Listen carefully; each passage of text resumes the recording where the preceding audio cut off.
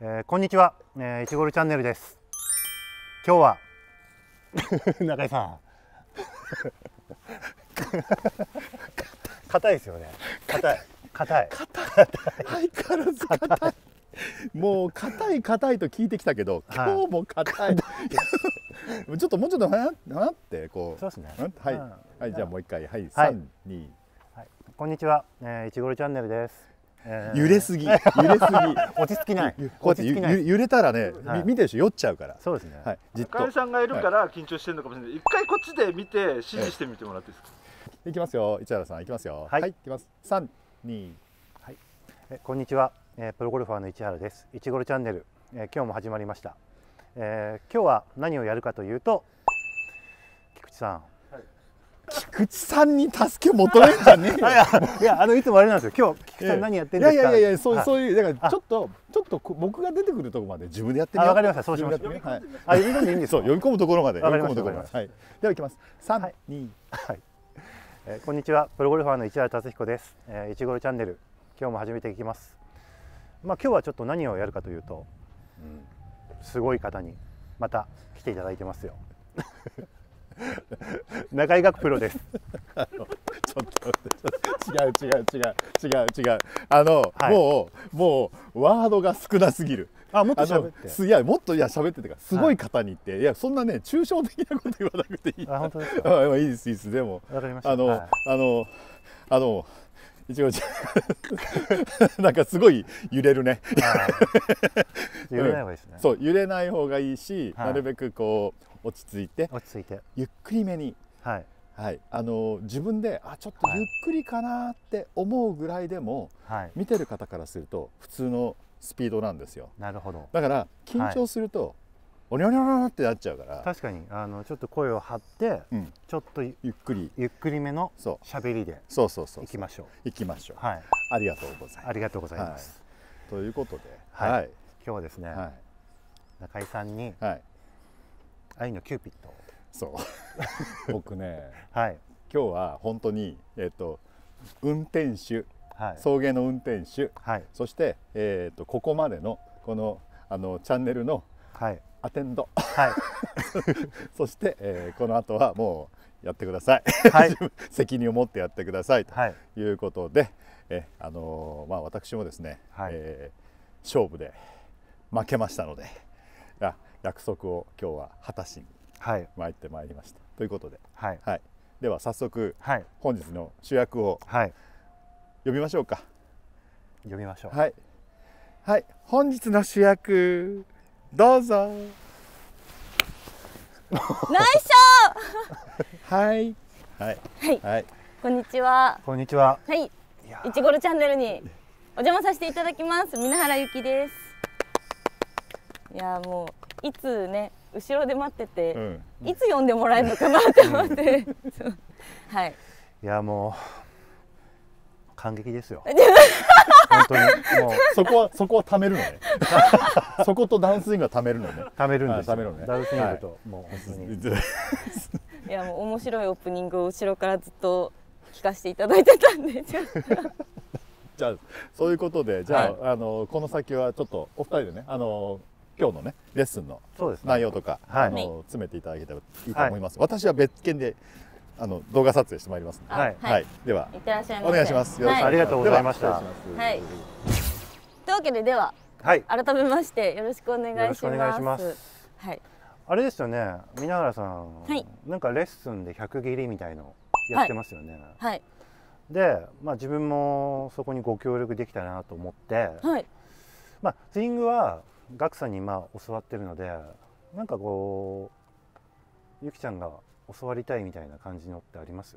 うん教わりたいといえばまあ言ったらその今100切り、まあ、目指すは100切りなんで、えー、まあ、今やっぱりどうしてもこうラウンドに行く回数がそんなに多くないんですよ、だから行った時にやりたいちゃんとやりたいのに、えー、距離感がいつも分かんなくなるところがあってっていうのが一番なんかアプローチなんですよ。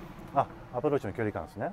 そうなんか何もこう、うん、弊害がなければ、だいたいこんな感じかなでわかるんですけど、ちょっと一個バンカーあったりとか、あの山あってそのゴールのカップのあの旗のやつがちょこっとしか見えない時とかはこれは一体どのぐらいかなガクさんこれはみたいな何ヤードって聞かないと分かんないみたいなことが多々あるんでまあそれちょっと距離感の出し方まあ難しいんですけど、まあ、一発でイメージ出る方法あるんで。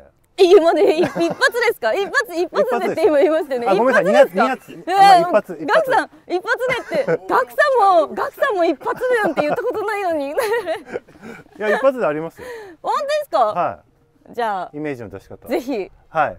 あ、それは聞きたいんでじゃあお願いします。よろしくお願いします。お願いします。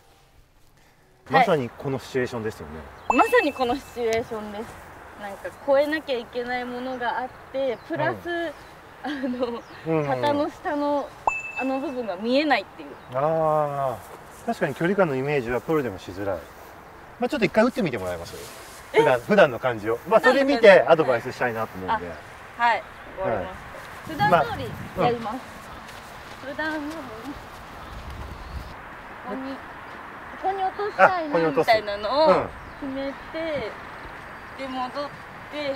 戻って。で私はいつもここで多分 Q か W 使うんですよ、ええ多分 W にするかな。ひ もうこの時点でちょっと苦手な感じが出ちゃってるってことですか？出ます。もうなんかバンカー真ん前にあるのも嫌だし、うんうん、弱く打ちすぎてバンカー落ちたらどうしようがもうあるんですよめっちゃネガティブじゃないですか。本当にここの距離感わかんない。このぐらい。はい。あ。あ。あ。あ。あれあどうらいっちゃうんですよ。こうなっちゃうんですよ。単純に打ち方は全然悪くないです。このシチュエーションで、はい、やっぱピッチングだとどうしても球が強く出ちゃうんで。うん、球が強く出ちゃうとあなんだろうこうイメージしづらいんですよね。距離感のイメージって。でなんか U にすると、うん、なんか今度は多分 U だったら私多分ここに入りそうって思って U 使えないんですよ。飛ばない感じがして。これはですねサンドウェッジ。はあ、を使えば一発ですよ。サンドウェッジ？サンドウェッジ。サンドウェッジ？いや私多分ここでサンドウェッジを多分使ったことあんまりないんですよね。なんかイメージ出づらいですか？多分使い方を分かってなくてあんまり。サンドウェッジ結構苦手意識があるっていう感じなんですか？なんかバンカーに入った時に使うのかなっていうイメージで。ああなるほどなるほどなるほど。でなんか一回ガクさんに教わったことあるんですけど、えそういう時にも使えるよみたいな、だけど、まあ、まずは W と U を自分の中で修行中だったんで、そっちばっかりやってて。いや今日今見た感じ。打ち方そんな悪くないんで、単純にサンドウェッジにした方が球も高く上がって止まりやすくなるんですよでそこから距離感作っていった方がよくてもっとあれなんですよね。打ち方がもっと悪いかなと思ったんですよ正直。おはいはい。であと距離感をちょっと作る方法を教えるんで。はい。ちょっと一回サンドウェッジで試しに打ってみてもらいましょうはい。落とし場所は？ピッチングで今あのぐらいの距離感でちょうど落としたいところに落ちてるじゃないですか、はいはい、それのイメージ1.5倍。1.5倍？ピッチングで普段あの打つ距離の1.5倍をサンドウェッジでも意識する。ほう、うん、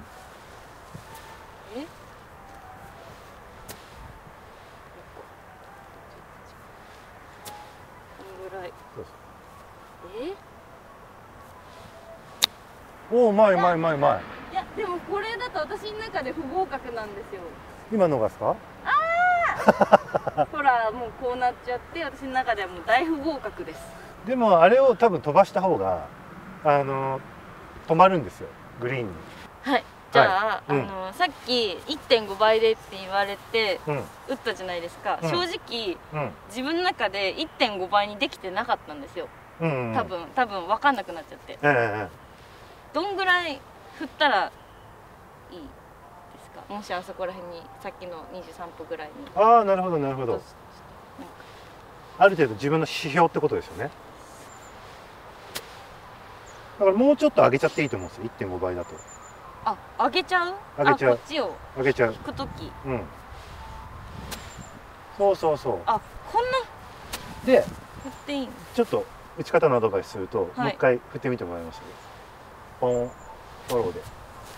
こうなるよ。あなるほど。そうそれもショットの飛ばない原因なんですよ。ほうはい。今ちょっと気づいたんですけど、はい、ごめんなさい何個も言って。あいやいや要はこうやってやると飛ばないんですよ。あ今のは、まあ、うまい うまくいってるけど、うん、ノーコックでちょっとコックを少し打つ時にこうこう入れてあげた方が球が前に行ってくる。えー、本当だ。すごい綺麗に。だからちょっと稲原さんは少しこう、はい、こういうふうにする。少しこう立ててあげる。ことを。立ててあげる、うん、だからいやマジこうそうそうそう。そそそう。なるよこれでうんうまいうまいう。まいあでもさっき打った私の2発より全然理想の位置に近い、もう。一回素振りしてもらってはいこれでそう。そうそうこれはもうあ上げすぎなのこうしてこうなるよ。こうなっちゃってる。こうこうなるよ。あもうここの段階でこう。こうなるよ。そうそうそう。あなるほど。こういってそうそうそうそう。それでバックスイングでしっかりこう同じ形になってる。フォローで。あバックスイングでも。そういう形でフォローでもそういう形。そうそうそう。おそれでこうで。おおうまいうまいうまいおえ？そう。ちょっとまとまりました。そう。あれだったら、はい、球もしっかり柔らかい球でおちゃんといいところに止まってるんですえー、すごい。あだって右側のやつはもう理想の位置ですよね。理想の位置。すごい。だから悩みでサンドウェッジが使えなくて飛ばなくなっちゃうっていうのは、はい、少しこうコックを使わなさすぎた。うん。うん。ここに来るように。はいはいはい。だからバックスイングでしっかりこうこうなってるわけじゃないですか、はい、フォローでもしっかりこうなるように。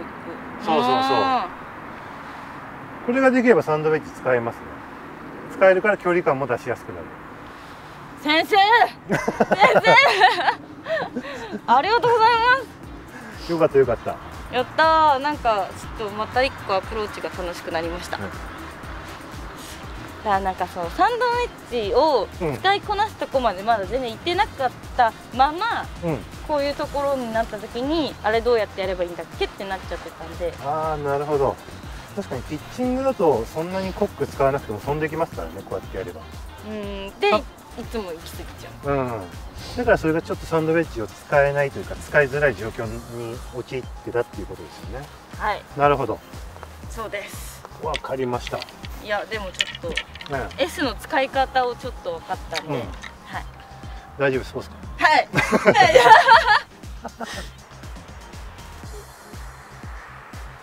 おおめっちゃうまい、えー、本当に再現性高いね、うん、3度さ